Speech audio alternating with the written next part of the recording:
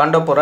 Corona ಎರಡನೇ ಅಲೆಯಿಂದಾಗಿ ತಾಲೂಕಿನಲ್ಲಿ ಸೋಂಕಿತರ ಸಂಖ್ಯೆ ಹೆಚ್ಚಳವಾಗುತ್ತಿರುವ ಹಿನ್ನೆಲೆ ಸೋಂಕಿತರ ಆರೈಕೆಗಾಗಿ ಸಮಾಜ ಸೇವಕ ವಕೀಲ ಅರವಿಂದ್ ರಾಘವನ್ ಅವರಿಂದ ಹತ್ತು ಲಕ್ಷ ರು ವೆಚ್ಚದಲ್ಲಿ ಆರು ಆಕ್ಸಿಜನ್ ಕಾನ್ಸಂಟ್ರೇಟರ್, ಹತ್ತು ಐಸಿಯು ಬೆಡ್ ಜೊತೆಗೆ ಸೈಡ್ ಟೇಬಲ್ಗಳು, ಇಪ್ಪತ್ತು ಪಿಪಿಇ ಕಿಟ್ ಹಾಗೂ ಇಪ್ಪತ್ತು ಆಕ್ಸಿಮೀಟರ್ಗಳ ಕೊಡುಗೆ. ಈ ವೇಳೆ ತಹಸೀಲ್ದಾರ್ ಪ್ರಮೋದ್ ಎಲ್ ಪಾಟೀಲ್, ಆಸ್ಪತ್ರೆ ಮುಖ್ಯ ಆಡಳಿತ ವೈದ್ಯಾಧಿಕಾರಿ doctor H Kumar THO doctor CA Aravind, ಪುರಸಭೆ ಸದಸ್ಯರಾದ ಎಂ ಗಿರೀಶ್, ಬಿವೈ ಬಾಬು, ಮನ್ಮೂಲ್ ನಿರ್ದೇಶಕ ಕೆ. ರಾಮಚಂದ್ರ, ಶಿಕ್ಷಕರಾದ ಮಾಣಿಕ್ಯನಹಳ್ಳಿ ಜಯರಾಮ್ ಪಾಮ ನಂಜುಂಡಸ್ವಾಮಿ, ಮೇನಾಗ್ರ ಪ್ರಕಾಶ್ ಇತರರಿದ್ದರು. ವರದಿ, ಟಿಎಸ್ ಶಶಿಕಾಂತ್ ಶೆಟ್ಟಿ, ಶ್ರೀಗರಿ ನ್ಯೂಸ್, ಮಂಡ್ಯ.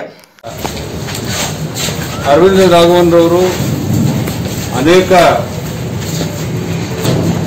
ಕಲ್ಯಾಣ ಕೆಲಸಗಳನ್ನು ಅದರಲ್ಲೂ ಶಿಕ್ಷಣ ಕ್ಷೇತ್ರದಲ್ಲಿ ಮಾಡ್ಕೊಂಡು ಬರ್ತಾ ಇರ್ತಕ್ಕಂಥದ್ದು ನಾವು ಕಂಡಿದ್ದೇವೆ. ಈ ಕೋವಿಡ್ ನೈನ್ಟೀನ್ ಸಂಕಷ್ಟದ ಪರಿಸ್ಥಿತಿನಲ್ಲಿ ಅವರು ಮತ್ತು ಅವರ ಸ್ನೇಹಿತರು ಸೇರಿ ಹತ್ತು ಲಕ್ಷ ರೂಪಾಯಿಗೂ ಮಿಗಿಲಾದಂಥ ಇವತ್ತು ರೋಗಿಗಳಿಗೆ ಸೋಂಕಿತರಿಗೆ ಅನುಕೂಲ ಆಗುವಂಥ ಆಕ್ಸಿಜನ್ ಅದ ಅದೇ ತಯಾರು ಮಾಡ್ಕೊಳ್ತಕ್ಕಂಥ ಕಾನ್ಸಂಟ್ರೇಷನ್ ಸಿಸ್ಟಮ್ಗಳನ್ನ ಕಳಿಸ್ಕೊಟ್ಟಿದ್ದಾರೆ. ಐಸಿಯು ಬೆಡ್ಗಳನ್ನ ಕಳಿಸ್ಕೊಟ್ಟಿದ್ದಾರೆ. ಡಾಕ್ಟರ್ಗೆ ಅನುಕೂಲ ಆಗೋಕ್ಕೆ ಹೊಸ ರೀತಿಯ ಪಿ ಪಿ ಕಿಟ್ಗಳು ಕಳಿಸ್ಕೊಟ್ಟಿದ್ದಾರೆ. ಆಕ್ಸಿಜನ್ ಚೆಕ್ ಮಾಡುವಂಥ